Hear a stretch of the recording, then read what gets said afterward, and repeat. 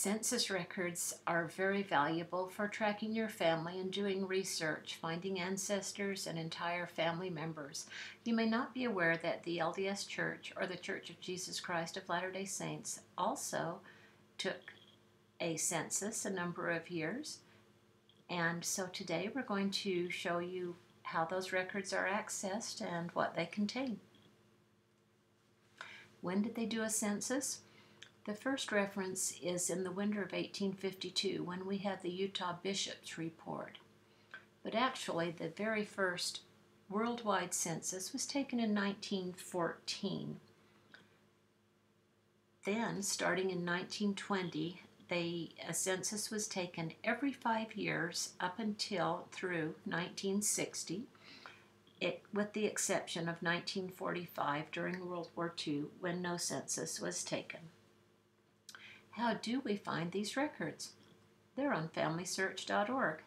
Once you navigate to that website, go to the Research Wiki, enter the search term LDS Census in the search box, and follow the links to all of these valuable resources.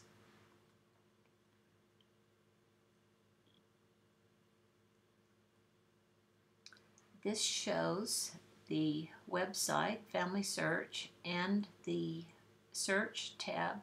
The bottom term is Wiki, so this would show you how to get there. And once you do that, this page, the Research Wiki, will come up. I've entered the search term LDS Census, clicked Enter, and it will take me to the next page. Once there, I click on the top link to the Utah Bishops Report. This is not a true census, but in 1852, the bishop of each ward in Utah listed the head of each family that was attending his ward or branch. This is available as a book, a film, or a fiche, and it has a very fun name Registry of Names of Persons Residing in the Various Wards as to Bishops Reports. This is incomplete. It only includes Utah, so nobody outside of Utah, and it lists only the head of each family. It's listed alphabetically with the ward attended. So from the um, wiki page on LDS Census, I click on the link. It takes me to this page, the Registry of Names, and I see that there's a digital version of this item available by clicking on this link where it says click here. When I do that, it comes up with the title, Registry of Names of Persons, etc., in GSL or Great Salt Lake City on December 28, 1852. And as I scroll down through this, I would see pages like this it can be a little bit difficult to read, but not impossible. And I can see the name of each male head of household and the ward that he was where he was residing. What else might be available for the 90 years between 1830 until the first census was taken in 1914? There is a very good resource. It's not a not a census as such, but it's the Early Church Information File, or the ECIF. And this is an alphabetical card index of Latter day Saints and some of their neighbors, mainly between the years of 1830 to 1914. What is this? It's an index of more than 1,200 sources and has over a million cards. These cards were then microfilmed onto 75 rolls of microfilm, they are available on Family Search Historical Records.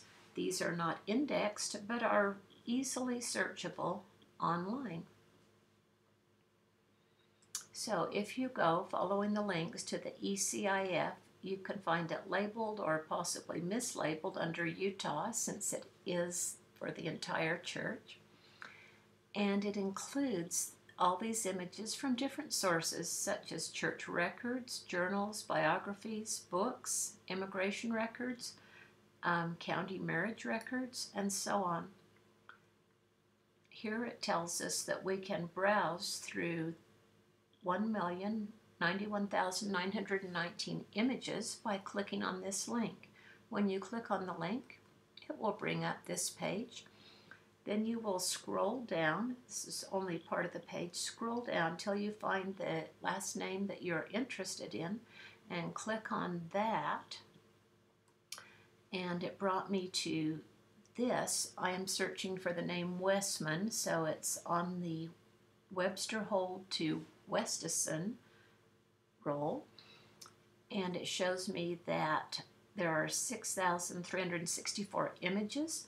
So I start jumping numbers until I get to the name that I'm looking for. I went first to image 5000, then back to 4000, and just kept going back and forth until I got to this one, 4401.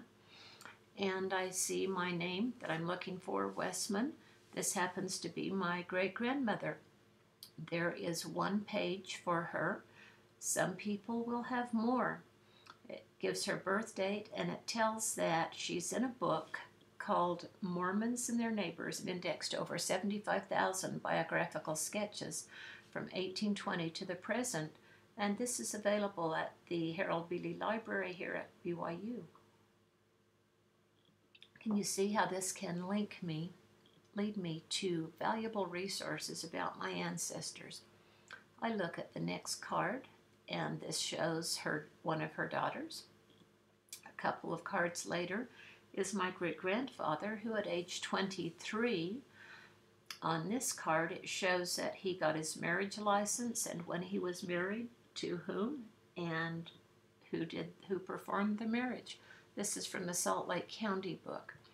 Again, the ECIF can lead you to very valuable resources about your early um, LDS family members. Let's talk now specifically about the LDS Church census records. On again, you go to FamilySearch.org, navigate to the Research Wiki, put in the term LDS Census, and it will bring you to this page the census, church census records from 1914 to 1960, and it tells us that there are 651 microfilm reels. So we know that these are not available online and they have not been digitized yet. We can always add that word and be helpful. As I scroll down the page, I find that these are available at the BYU Family History Center, and they have 639 of the 640. There's a little bit of a number discrepancy here, but we know that BYU has most of them. We look down through the list and we note the film number for the for the uh, census records that we're looking for. These are readily available, and this is a list of libraries that have these films. they can be ordered into other centers, but these are the larger family search libraries or family um, history centers that do have a complete or fairly complete collection of these LDS Church census records. as you scroll through looking for the last names that of the families you're trying to research, note that at the end of the alphabets are supplements. So you need to not stop with the end of the alphabet if you're not finding the names you're looking for. The 1914 to 1935 census records are filmed together and they are all alphabetized together so that it's very easy to track a family through the years. 1940 is separate with its own microfilm and two supplement supplemental films. And then the last three census records are filmed together. Again, it's easy to track the family through the census years.